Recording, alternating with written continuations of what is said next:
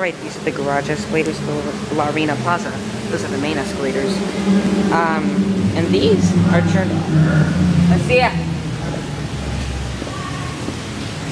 And look at this, it's closed. I have not seen this before. Alright, so, it is a Montgomery. And the single file escalators, unlike the main ones. Now we'll go up.